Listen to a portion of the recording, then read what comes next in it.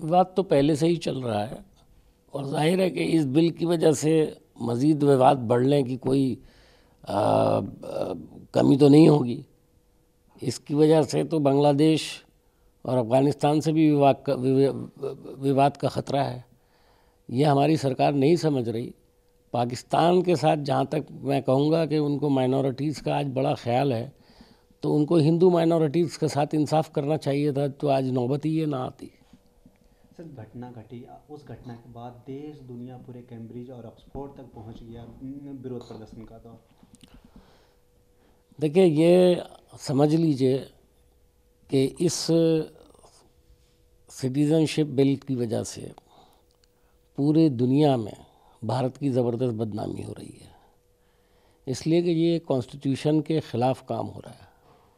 जो हमारे देश का आइन है, जो हमारे देश का संविधान है उसके अंदर मज़हब की बुनियाद पर ना सिर्फ़ ये कि हिंदुस्तानियों के लिए कोई भेदभाव नहीं किया जा सकता, बल्कि अगर वो कानून गैर मुल्कियों के लिए बनाया जाएगा, उसमें भी आप मज़हब को किसी को छोड़ के, किसी को रख के ऐसा भेदभाव नहीं कर सकते। तो ये कॉन्स्टिट्यूशनली गलत है, उसूली तौर पर ये बात बिल्कुल गलत है। और इसका एहसास आज सारी दुनिया में किया जा रहा है और इसीलिए विरोध प्रदर्शन हो रहा है। सर आज पूरे विपक्ष के लोग राष्ट्रपति से मिले और कहे कि जिस तरह से ये कानून आया और मोदी गवर्नमेंट ने उस पर काम करे नो कंपेरिजन है। देखिए पंद्रह सोलह पार्टियाँ आज राष्ट्रपति भवन में उनके लीडर्स सोनिया जी की अगुवाई में गए थे। बाहर निकलने के बाद सोनिया जी ने बिल्कुल साफ़ तौर पर कहा कि यहाँ आम आदमी की आवाज़ को दबाने की कोशिश की जा रही है। और उसका आपने देखा नज़ारा, जामिया के अंदर देखा। अब तक और जगहों पर भी हुआ, जेएनयू के स्टूडेंट्स ने भी किया, दिल्ली यूनिवर्सिटी के भी स्टूडेंट्स ने किया। लेकिन जामिया में जिस तरह से हुआ और जिस तरह से कुछ मीडिया के लोग उसको कवर कर रहे हैं, जिस तरह से दिखा रहे हैं, उससे साफ़ ज़ाहिर होता है कि जामिया पर ये मेहरबानी क्यों है। ये मेहरबानी जो की जा रही है डांडे और लाठियों की शक्ल में, स्टूडेंट्स को जिस तरह से मारा पीटा गया है, वो बहुत ही शर्मनाक है। उसकी वीडियोस वायरल हुई हैं।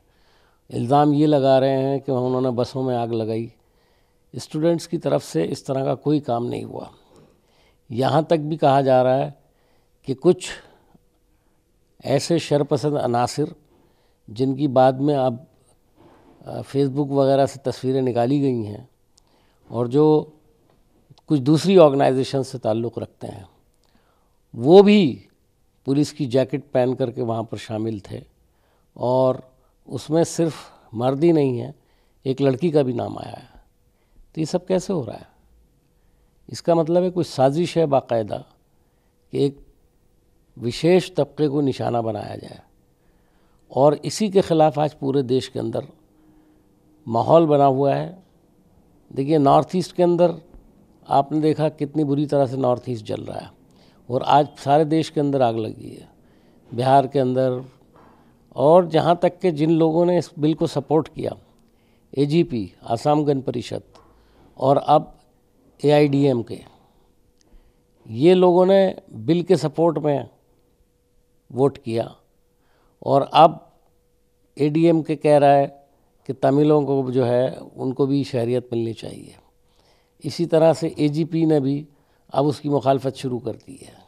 जिस बिल को सपोर्ट किया, आज मुखालफत शुरू कर दी। सोलह सत्रह पार्टियों का खुला हुआ आज राष्ट्रपति भवन में जाकर के प्रेसिडेंट से मिलना इस बात का मुजाहरा है कि देश में एक बड़ी आवाज़ जो है, वो इसके ख़िलाफ़ उठ रही है जगह जगह से। और सरकार को समझ लेना चाहिए कि इस तरह के कानून करके वो अपने पैरों पर कुलाड़ी मार रही है। सर आखिरी सवाल मंत्री उद्धव ठाकरे ने भी जामिया के छात्रों पे जिस तरह से हमला हुआ उसको कह रही है जालिया वाले बाग की घटना की तरह ही लग रहा है। देखिए आज शिवसेना को भी ये एहसास हो गया कि भारतीय जनता पार्टी एक गलत पार्टी है।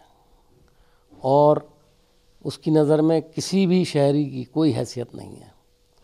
यहाँ तक के नौजवान जो इस देश का भविष्य हैं, जो यूनिवर्सिटीज़ और कॉलेजेस में पढ़ते हैं, उनके ऊपर जिस तरह का लाठीचार्ज हुआ है, जिस तरह की वीडियो वायरल हुई हैं, उससे को देख कर के तो यही बयान दिया जाएगा और जो उन्होंने दिया है।